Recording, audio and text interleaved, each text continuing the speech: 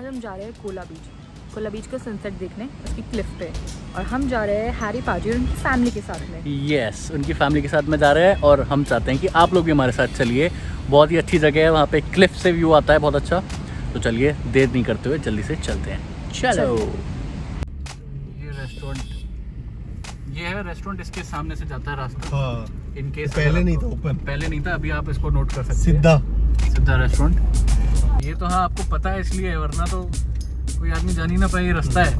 बरसात के बाद से और ज़्यादा वो हो गया है। स्कूटी तो जा ही ना पाए यहाँ पे। नहीं मैं लेके गया हूँ स्कूटी। से भी। अरे भाई साहब बम्पी रोड खतरनाक। झूला मुझे तो झूला लगता है। उसमें इतनी बार आ गया कि ये झूला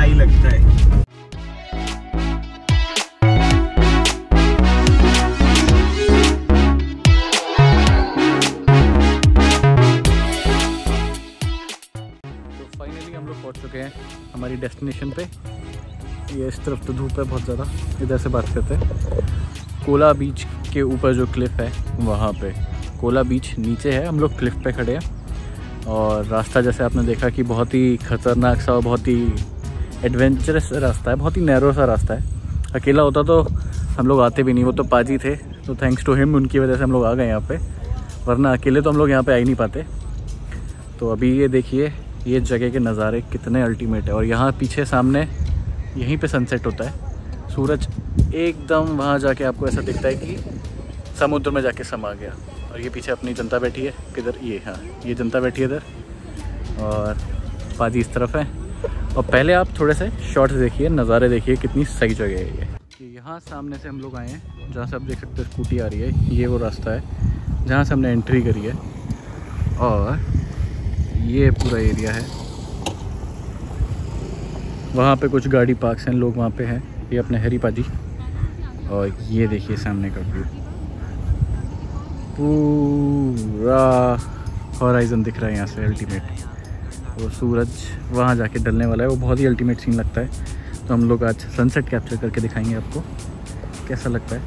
और इस तरफ़ यहाँ के लेफ़्ट साइड ही अगोंडा है, जहाँ पे हम लोग रुके हुए हैं। वो इस पहाड़ के उधर ही है। बाकी ये देखिए, आगे से मैं आपको शॉट दिखाता हूँ।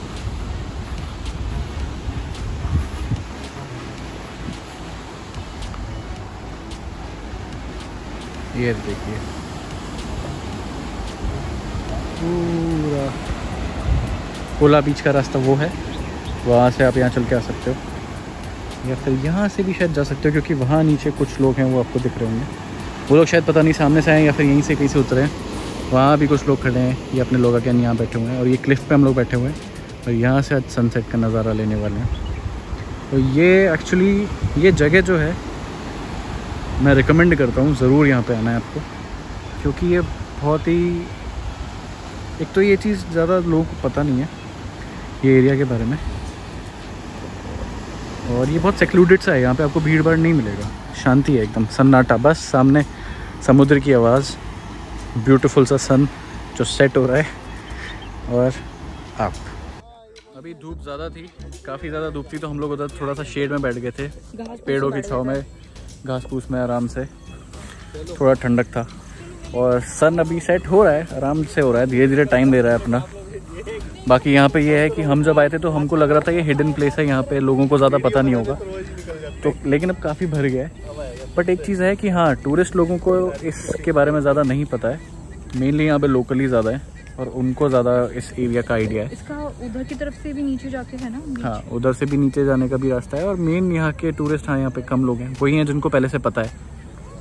तो एक ये भी अच्छी चीज़ है। अगर आप आना चाह रहे हैं तो आप सर्च करके आ सकते हैं। कोला बीच का क्लिफ है ना? कोला ब्लू लगून करके बता रहे ब्लू लगून भी करके हैं। बता रहे यहाँ लोकेशन के लिए क्या blue lagoon blue lagoon side से है ये पादी आप बताओ अगर किसी को आना हो यहाँ पे तो कैसे है यहाँ पे लोकल से ही पूछ के आ पाओगे प्रॉपर हाँ, तो। हाँ। अभी हमने जैसे देखा ना। हाँ। लेकिन फिर भी अगर उसको बताना हो कि हमें यहाँ जाना है तो कोला बीच की क्लिफ हाँ कोला बीच की क्लिफ और दूसरी साइड नहीं जाना मतलब कोला साइड से जो आना है वो रास्ता नहीं। हाँ। लेना आपको अगोंडा से पहले थोड़ा सा आगे चलते ही कटता है ये रास्ता। तो उधर से आना हाँ, है तो- लेफ़्ट साइड में रास्ता कटेगा बहुत पतला सा रास्ता है। पतला सा रास्ता है देख के लगेगा नहीं कि दिखाया हैं। है हाँ, मैंने थोड़ा सा स्टार्टिंग में जो दिखाया है। हाँ। वही है। लेकिन आप ये सही कह रहे हैं पाजी कि लोकल से थोड़ा पूछना पड़ेगा। हाँ। तो वो तो क्योंकि हमें भी नहीं पता था हम बहुत महीने रहे। उसके बाद हमें नहीं पता चला फिर लोकल से पूछा तब हम यहाँ पे पहुँचे इस रास्ते से। लेकिन वर्थ है। हाँ आने का आना तो वर्थ है मतलब ये चीज़ बहुत ही है। सनसेट दिखाने वाले हैं आपको हाँ, ये। सनसेट देखना बहुत ही अल्टीमेट जगह है। हाँ। और ये देखिए पीछे पाजी का फ़ैन मोमेंट कैप्चर होता हुआ एक दूसरे सब्सक्राइबर मिल रहे हैं पाजी को। अभी एक पांडे फैमिली मिलती हाँ। अभी एक और ये पीछे बात कर रहे हैं और सब पाजी को सब पाजी को थैंक यू बोल रहे हैं कि उनकी वजह से ही उन कुछ ना कुछ उनको हेल्प आउट हुआ है गोवा में। तो ये हम भी आपको बोलते हैं और हमें भी हुआ है कि अगर आपको गोवा के बारे में जानना हो रियलिटी तो प्लीज़ उनके चैनल को आप देखिए फॉलो करिए और आपको मिल जाएगा कि गोवा में एक्चुअल क्या है। वो अच्छे से बताएँगे वो देखिए। दो एग्ज़ाम्पल भी हमने लाइव देख लिए सामने सामने तो मस्त चीज़ है वो। हाँ जी आप कुछ बोलना चाहेंगे? क्या देख रही हो सामने? इतनी अच्छी हरियाली देख रहे हैं। तो इतना धीरे क्यों बोल रही है? सनसेट देख रही हो? खो मत जाना सनसेट में। ना ना ना। ना ना ना। सोच रहे कि अच्छी अच्छी फ़ोटोज़ लेनी है अब कैसे लेनी है कहाँ से लेनी है? अच्छा। वो तो हमें ही लेनी है तुम फ्रेम में होगी फ़ोटो हम लेंगे और क्या साथ लेनी है? अच्छा मेरे साथ? ओके वो देखिए वो सामने सूरज से नीचे एक गोल सी लाइट आ रही है वो देखिए। यहाँ पे था जूम करके कोशिश करता हूँ दिखाने की। ये देखिए। केवल उतने से एरिया में कैसा लग रहा है कि वहाँ पे स्पेसशिप है और उसकी नीचे लाइट आ रही है और कोई वहाँ से नीचे उतरने वाला है या ऊपर जाने वाला है। बिल्कुल वैसा फील आ रहा है। बहुत ही सही लग रहा है ये।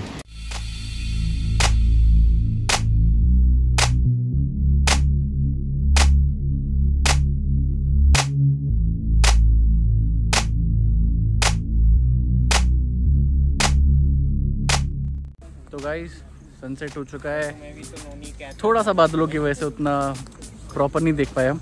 बट लेकिन ये जगह ने उस चीज़ को कंपनसेट कर दिया। यहाँ का पूरा अरोमा जो फील था ये जगह का बहुत ही सही थी। और बस अब हमारा सनसेट हो चुका है। अब हम लोग चलते हैं पाजी के साथ वापस। और आज के ब्लॉग में बस इतना ही। और अगर आपको अच्छा लगा हो तो प्लीज़ हमारे चैनल को सब्सक्राइब करिए लाइक करिए और अपना प्यार ऐसे ही हमको दिखाते रहिए। जल्दी मिलते हैं आपसे अगले ब्लॉग में। Till then take care and stay safe bye bye